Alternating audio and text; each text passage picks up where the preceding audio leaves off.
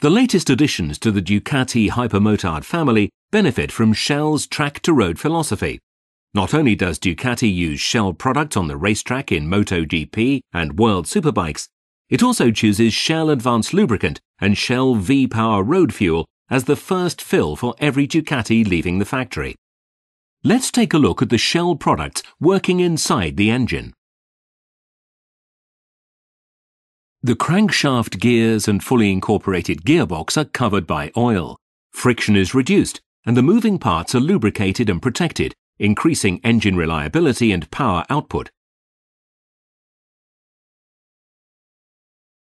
The lubricant is sprayed by a jet toward the piston undercrown for piston cooling.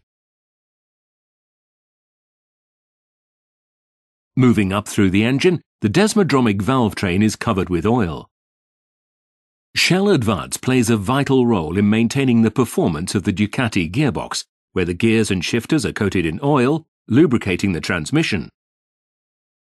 Shell Advance oil has been optimized to work with Shell V-Power fuel with the aim of reducing fuel consumption and maximizing power output from the bike.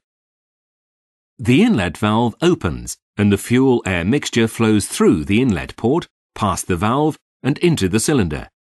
As the piston rises up the cylinder, the mixture is compressed and ignited, forcing the piston back down the cylinder and turning the crankshaft. A common passion for performance lies at the core of the technical partnership. Ducati develops its legendary road and race bikes, while Shell's commitment to innovation is an integral part of an extensive research and development program that is key to making better fuels and lubricants for customers all over the world.